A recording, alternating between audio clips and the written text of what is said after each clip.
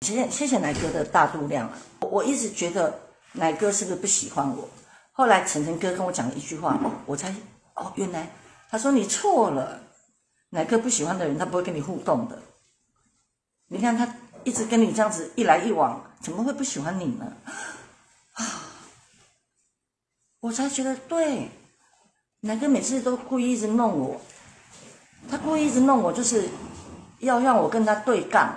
然后就是有效果，我怎么那么傻呢？没有去想到他对我的好，反而想到说他怎么在骂我那个字啊？对，恍然大悟，真的很抱歉。谢谢谢谢奶哥的大度量啊！因为哦没有常常的联络，所以有时候我们会不了解对方的个性。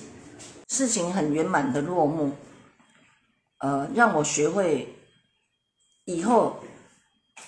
怎么样去应对进退？我们的人生比包括比比我们年纪轻的，包括比我们年纪大的，以后不管发生什么事，应该要先检讨自己，应该要先检讨自己，呃，不能一下子就有委屈的情绪，或者是写出一些比较嗯怎么讲意气用事的话。自从那个事情发生之后，我就一直一直不断的在检讨。我妈妈也有。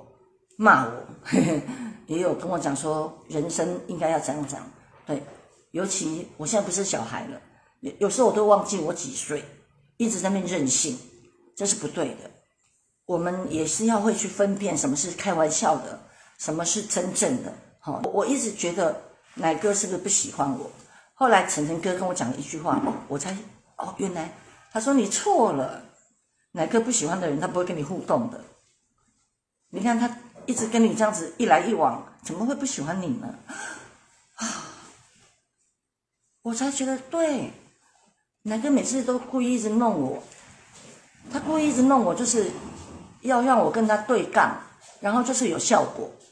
我怎么那么傻呢？为什么会不明白人家在制造话题给你？你怎么还要这样子说人家呢？没有去想到他对我的好，反而想到说。他怎么在骂我那个字啊？晨晨哥跟我讲这句话，我才对我才回来，我才一直想说，我真的很抱歉。